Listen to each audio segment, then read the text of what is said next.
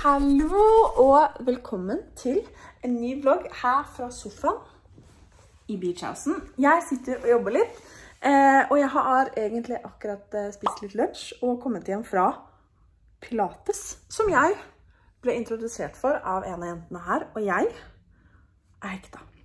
Det er så vondt og så digg på en og samme, gang. Nå har jeg bare gjort det to ganger, men jeg har allerede boket inn tre ganger neste uke. For at jeg bare Nei, det har rett og slett vært så befriende. Og de to gangene jeg har gått derfra nå, så har jeg på en måte følt meg så, så bra. Selv om egentlig så klarer jeg ikke å holde kameraet engang for at armen min rister. Men det har rett og slett føltes ut som jeg rett og slett bare har gjort noe skikkelig bra for meg selv. Og nå sitter jeg her og bare venter for jeg skal få en pakke med litt snodder, som jeg har ventet så sjukt på, eh, før jeg hopper i dusjen. Og jeg vet at den skal være rett rundt hjørnet, så jeg håper den kommer hvert øyeblikk. Men eh, for den tid så skal jeg fortsette litt med dagens jobb. Før, Nå trykket jeg på nå? Jeg klarte magen. Trykke på tasten her. Før jeg skal ordne meg og dra og se kryssspillet helgens første av tre kamper. Jeg går unna, skal jeg si det. Det står at pakka skal komme nå. Skal vi se. Her står det en pakke. Det var ikke til meg. Oh, oh, oh. Her er den. Yes! Nå vet du hva jeg skal ha på meg på kamp, for å si det sånn. Yes! Dette er, jeg skal vise dere alt. Slapp av, dere skal få se. Altså, jeg gleder meg. Nå ble jeg sånn pusten. Oh. Ok, i hvert fall, jeg tenkte, før jeg lukker døra, skal jeg vise dere. Her bor vi, her nede er det veldig hyggelig. This is the beach house. Og det heter det fordi vi ligger og da, 50 meter fra stranda. Nei, ligger ikke det engang, tror jeg. Noe som er superluksus. Men altså eh, Dere aner ikke hvor mye jeg har gledet meg til den pakka her skal komme, fordi oppi her ligger ting som jeg ønsker meg og vente på. Og, og den er sendt helt fra Sverige til USA. Men eh, det høres ut som at jeg har ventet veldig lenge. Det har jeg ikke, for det har gått sånn. Altså, nydelig. Men nå tenkte jeg, nå skal jeg bare gjøre ferdig det jeg holder på med. Hive meg i dusjen, stelle meg, og så skal vi velge oss en antrekk til dagens kamp fra denne boksen. Part of me wants to stay forever. Me is afraid to get hurt. Love always made a mess of me. Broken heart got the best of me. But with you, I am high. Altså, jeg vet at jeg sa jeg skulle gå i dusjen, men jeg må bare kan har fått den blazeren imitert skinn. Altså...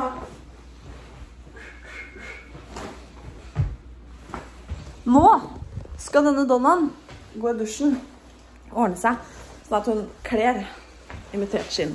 Vet ikke om jeg kan ha på meg den på kampen, da. Men se på den veska her. Nei, jeg må gjøre ferdig. Nå må jeg faktisk gå og dusje. OK, vi snakkes, men for å si det sånn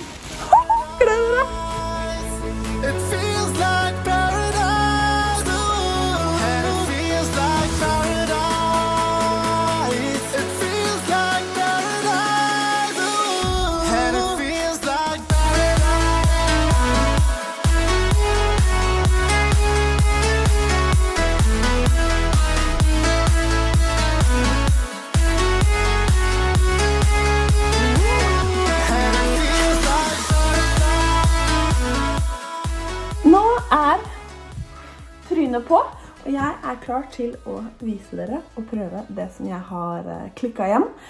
Um, og meddele at rabattkoden Martini20 gir 20% rabatt på alle ordinære varer fra Naked. Og jeg kan bare si deg det. Nå kommer snart dere. Og det er så mye fint her. De har så mye fint. Så da vet du det. Rabattkoden Martini20. 20% rabatt på alt foruten salget. Og nå er jeg klar til å vise dere. Altså, det er så mye fint, og jeg lover jeg skal prøve alt. Se på de øredobbene her. De skal jeg ta på meg. AS, AP. Dette her er er en fryd. Let me see, let me see. Se. Å, de var fine.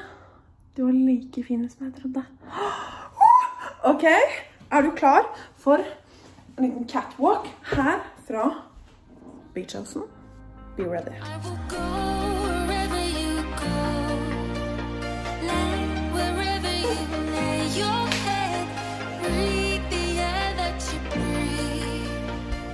أصلا نجي نسمع على رأ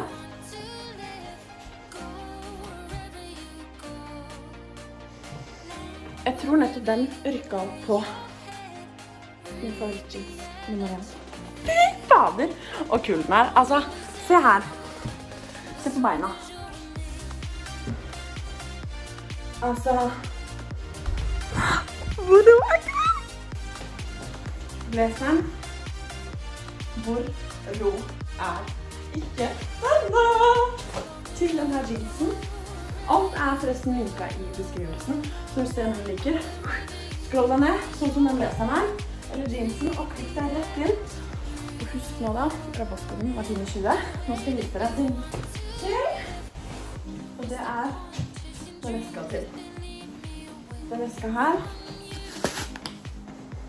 Så stor, digg, kul, boxy. Så kult at lyst til å gå på. Ja, det vet du vel. Da. Mye finere utenriks. Men altså, seriøst. Nå så er jeg i bilen. Jeg har akkurat vært på hvor vi leier bil, fordi vi skal egentlig levere bilen på mandag, men ehm, Kristian er jo borte da, og da bilen står på hans navn, så han må gjøre det. Så da spurte jeg veldig mye klart. Det betyr ingenting for dere. Men det har jeg i hvert fall gjort nå. Det ble genseren med de fine armene, og den sykt kule jeansen. Så nå er det Ontare neste og kamp. Ok, tenk på det. Så ser vi hvordan dette går, og så håper vi på en eh, seier.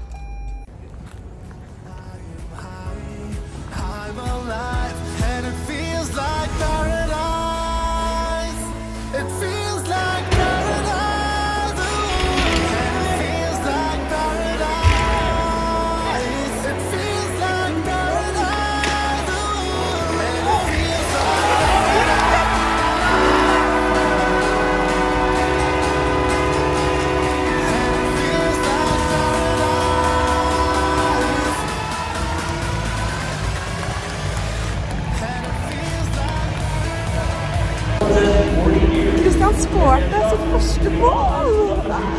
Herregud, så gøy. Og da filma det sånn at dere fikk se det. Det var jo helt sjukt. Og så sjukt tilfeldig. Nå så sa jeg akkurat ha det til de andre jentene. Og så skal jeg gå og finne Chris. Jeg gratulerer han med 5-2-seier og mål. Eh, Veldig gøy, og han var on fire i dag. Og det var jeg jo i ny buksa mi. Yay! Og for så vidt vesten nå. Herregud, det er mye kult. Jeg skal vi se vesten her da. Alle de andre pleier å møtes inne. Inne eh, familierommet, men vi liker å møtes ute da, liksom rett utenfor, sånn, ja, fordi vi er rare. Så det er litt jeg på vei nå.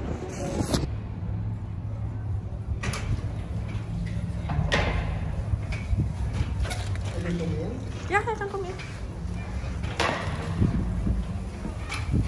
Hei! Jeg er hjemme igjen, og jeg fikk akkurat levert pizza på døra. Kom akkurat ut av dusjen. Vaska over gulvene mens jeg venta på pizzaen.